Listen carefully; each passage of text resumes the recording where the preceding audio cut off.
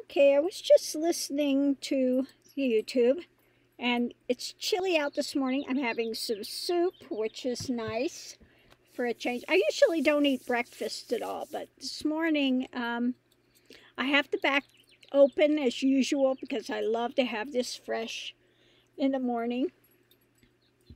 Got the heater going over here. Mr. Max is wrapped up because he's chilly, chilly Willy sitting there. Eh. But anyway, I was listening to uh, Joe this morning, Morning Joe. Now, when I lived in Florida, I li listened to him every morning. I love that show. Um, but today he had this pastor on. He's a Southern Baptist. He had this pastor on. And, the, you know, the pastor was doing well until we got to the point of you know, he says we should be the salt and the light, which is great. Yeah, absolutely. We should be the salt, you know, and the light, you know, bring the light and the good news, what they say, the good news, and be the salt, you know, give give something that makes it better, makes things better. Salt just enlivens things, okay? Takes the blandness out, gives you something. But then he's going, you know, we should all come together as brothers and sisters in Christ. And I'm going, wait a minute. It's only Christians that should come together?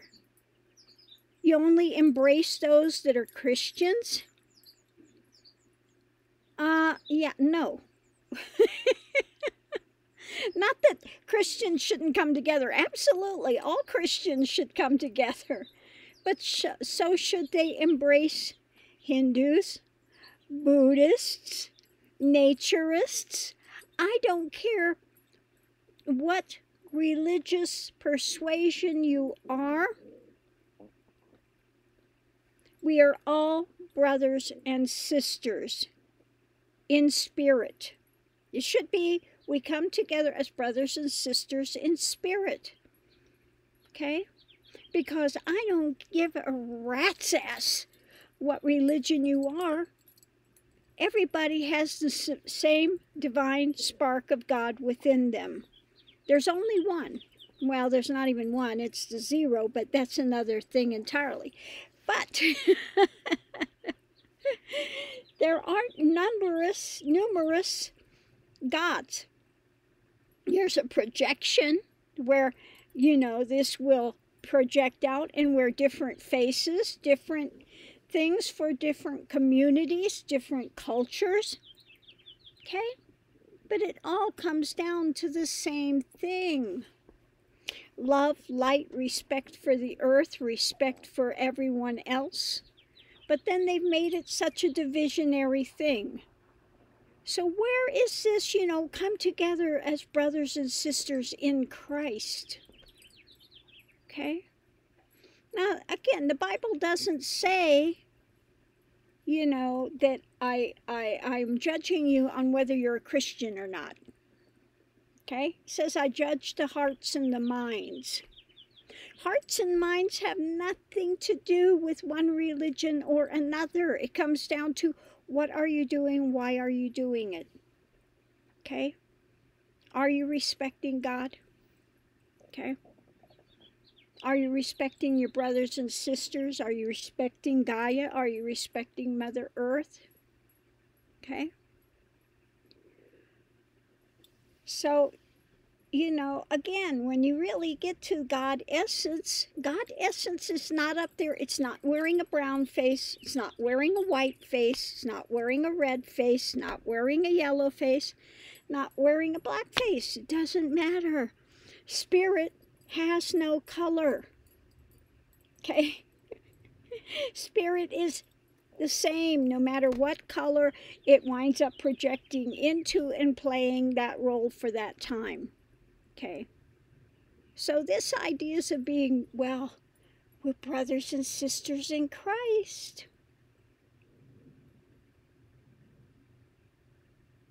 That gave me pause. Okay? Now, God cannot be held by any religious persuasion. That's made by men for the benefit of men. Okay? God is happy to be projected in any of these classifications. Okay. So I just wanted to, you know, that really, when I heard that, it just jarred me this morning. Brothers and sisters in Christ. I'm like, now don't get me wrong. You know, 100% Christ came to show the way, okay? The way and the life and the light, okay? But there are other ways also to get to God. Okay? And Christ said, I am the way, the truth, and the life. So if you are a, a follower of Christ, you should follow what he was saying. Okay? Follow him. Okay? Walk the path. Okay? Not just say, I believe. I believe. Okay? I've been baptized. I'm good. Doesn't matter what I do, I'm forgiven. Okay? Because I've been washed in the blood, so I'm forgiven now. Well, yeah, no. You know, it says if you do something wrong, you should repent. And that means you don't do it again. Okay? You don't do it again. You clean up your act. But I see so many Christians they could continue to go out there and do things they know is wrong and say, well, I'm saved, so I don't have to worry about it.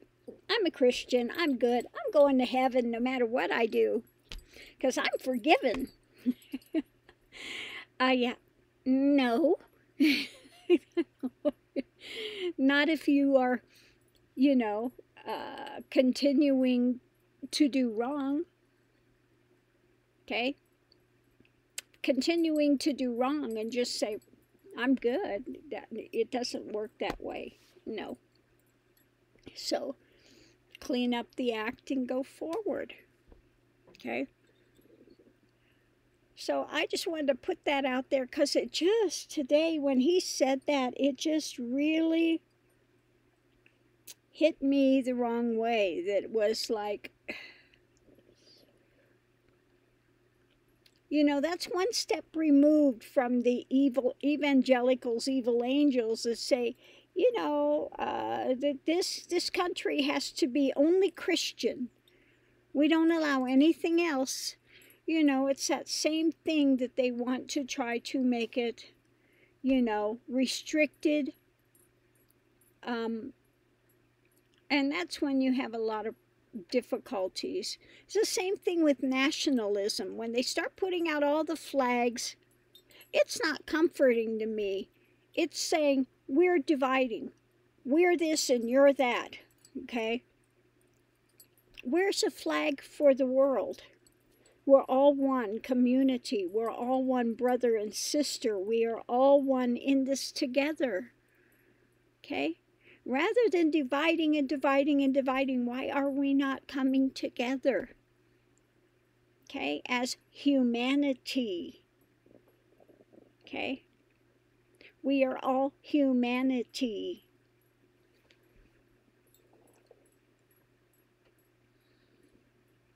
You know, and it doesn't matter what religious persuasion you are, if you are a person of faith, and I'm not talking about radicalized faith, you know, like you got Muslims that are radicalized, and we've got Christians, evangelicals, which are radicalized. I'm not talking about radicalized element. I'm talking about ones that are, you know, that they're grounded, they're centered, they're, you know, not just picking these one little things out and then running with it, taking things out of context becoming again what what Christ came to talk against, which was that letter of the law. Okay? The letter of the law came to bring the spirit, the spirit, the higher things of what it, what it is. And every religious persuasion, you can have a letter of the law or you can have the spirit of it. You can have the spirit of it. And the spirit is always higher than this letter legalization that men try to put in. I want to have boundaries so that I can know, and then I can try to jockey those boundaries and try to find loopholes and try to, you know, um, rather than just going with the pure simplicity and beauty of it. Okay? So I'm going to leave this here. Much love and light. Be interesting to see your take on it. Thanks for tuning in, and I'll see you online and get back to my, uh, it should be cool enough I can actually eat it now.